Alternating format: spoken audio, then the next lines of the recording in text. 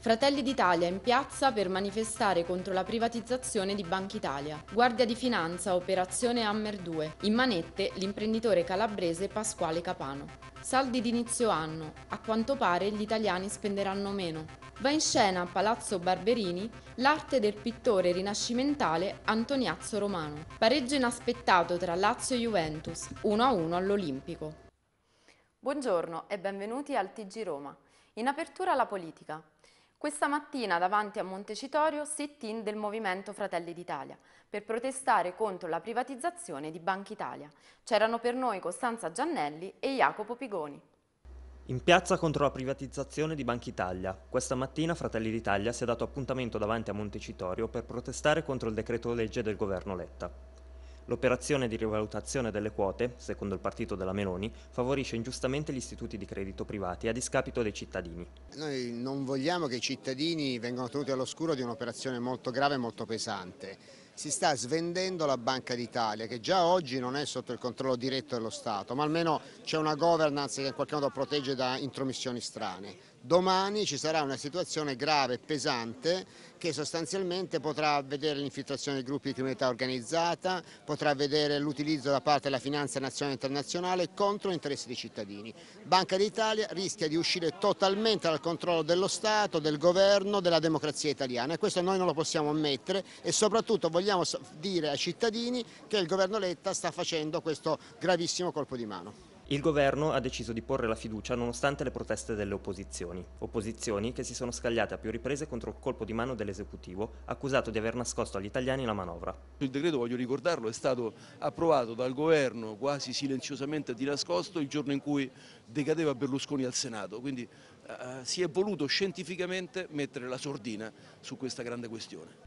Al sit-in improvvisato solo poche persone, fra loro però diversi deputati e alcuni ex ministri. Alcuni speravano nella presenza dei parlamentari del Movimento 5 Stelle, che in aula erano stati più accesi oppositori dell'operazione di privatizzazione. Oggi però l'unica forza politica a manifestare è stata Fratelli d'Italia. È un tema che nei giornali e nelle televisioni riprendono perché nessuno si mette contro le banche, sia soprattutto i giornali quotidiani perché gli azionisti sono normalmente le banche, pensiamo al più grande quotidiano italiano.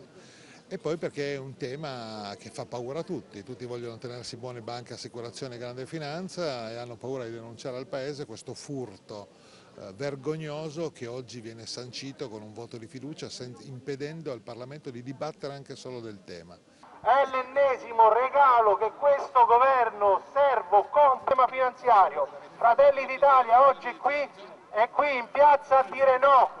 La proposta di Fratelli d'Italia è quella di attuare una legge già votata dal Parlamento nel 2005 che guarda caso non è mai stata eh, attuata che è quella di restituire le quote eh, di, di, di, della proprietà di Banca Italia allo Stato perché la Banca d'Italia è la banca degli italiani, è del popolo italiano, c'è un problema legato alla sovranità monetaria, c'è un problema legato alla detenzione delle riserve auree non pensiamo che si possa trattare come fosse una qualunque azienda da svendere e da regalare ai propri amici o agli amici degli amici. Ed ora la cronaca. Importante operazione contro l'andrangheta condotta dalla Guardia di Finanza di Roma. Le Fiamme Gialle hanno arrestato Pasquale Capano, noto imprenditore calabrese, con l'accusa di aver favorito l'organizzazione criminale. I particolari nel servizio di Anastasia Fedele e Giuseppe Pucciarelli. Sfruttava la propria attività imprenditoriale nel settore turistico immobiliare per favorire il clan Muto, uno dei più potenti dell'Andrangheta. Questa l'accusa che ha portato stamattina all'arresto di Pasquale Capano, imprenditore calabrese da anni residente a Roma. L'ordine di custodia cautelare emesso dalla Direzione Distrettuale Antimafia di Roma è stato eseguito dai finanzieri del Comando Provinciale della Capitale nell'ambito dell'operazione Hammer 2. In manette, oltre a Capano, sono finiti anche la moglie e il cognato. L'imprenditore avrebbe utilizzato società intestate a prestanome per realizzare delle operazioni finanziarie destinate ad agevolare l'andrangheta e in particolare il clan muto di Cetraro nel Cosentino. Secondo la distrettuale, Capano agiva da vero e proprio referente dell'andrangheta a Roma. Più che un'appartenenza è una fratellanza. Così l'imprenditore ha definito il suo legame con l'organizzazione criminale in una lettera inviata a un pregiudicato mafioso. Missiva che è stata rinvenuta nel PC di Capano dalle fiamme gialle durante una perquisizione. E voltiamo pagina. Acquisti in calo nel periodo di saldi di inizio anno. Questo è quanto emerge dalle previsioni del Codacons. Le nostre inviate Martina Biocca e Martina Mottura sono andate a sentire cosa ne pensano i romani. A 20 giorni dall'inizio dei saldi, solo il 35% delle famiglie ha deciso di approfittare dell'annuale ribasso dei prezzi, un 5% in meno rispetto all'anno scorso, con una spesa che tocca un tetto massimo di 200 euro per famiglia. Il Codacons, già dal 2010, aveva proposto di anticipare i saldi natalizi per arginare il calo di acquisti del 30% previsto per quell'anno. Ma vediamo come stanno andando gli acquisti in Via del Corso, luogo simbolo dello shopping romano. Io i saldi manco una lira. Lei? Ma io poco. Poco? Sì, sì, sì. Quindi è vero, i consumi comunque stanno calando? No, Decisamente. Sono anni che non consumo né prima né dopo perché uso tutta la roba che ho. Stando a me, me, ma però io vedo i negozi tutti vuoti. Cioè i saldi per me non sono un'occasione per comprare. Il Codacons ha sostenuto che non sarebbero stati spesi a famiglia più di 200 euro. Voi avete speso di più, di meno? Trovate che sia effettivamente così? Più o meno la spesa è stata quella a discapito poi dei regali di Natale o i regali di Natale comunque sono stati fatti come sempre? Come sempre, ma sì, più o meno come sempre. Magari cose più utili però, a diciamo, Natale. non sciocchezze. Eh. Lo compriamo solo a prezzo pieno. Ed ora passiamo alla cultura. Ultima settimana per ammirare nella capitale le opere del pittore Antoniazio Romano. I dettagli da Valentina Princic ed Antonella Troisi. Un anello di congiunzione tra tardo gotico e rinascimento, è così che si può descrivere lo stile originale del maggior pittore romano del XV secolo. Continua a Palazzo Barberini la prima mostra monografica del Pictor Urbis, che si affida a colori puri su sfondi dorati in opere di grande suggestione e altissima qualità. Un esempio si ritrova nella raffigurazione dell'Arcangelo Gabriele e della Vergine Annunciata, uno di fronte all'altro su questa tela di grande valore artistico. Tema ricorrente in Antoniazzo è la compassione espressa nello sguardo amorevole delle Madonne. L'esposizione comprende 50 lavori tra polittici, grandi pale d'altare, piccoli dipinti devozionali come figure ieratiche di Madonne e Santi. La mostra offre al pubblico un viaggio nel Rinascimento quotidiano che stupisce per la raffinatezza della sua pittura. L'arte del pittore, curata da Anna Cavallaro e Stefano Petrocchi, si potrà ammirare fino al 2 febbraio. Eh, parliamo dell'unico eh, artista del Rinascimento romano veramente romano, nato a Roma, egli nasce infatti nel 1435, muore a Roma nel 1508. Dal testamento sappiamo che egli era un artista ricchissimo, lascia una famiglia numerosa ma soprattutto lascia molti beni, il che significa che era un artista amato, apprezzato e che ha lavorato molto nella città.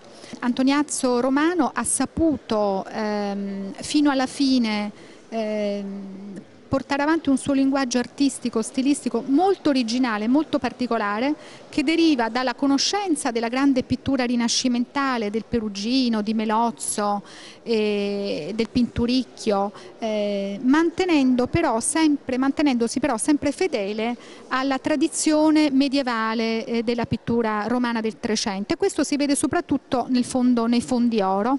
E chiudiamo con lo sport. Finisce in pareggio l'anticipo serale di Serie A tra Lazio e Juventus.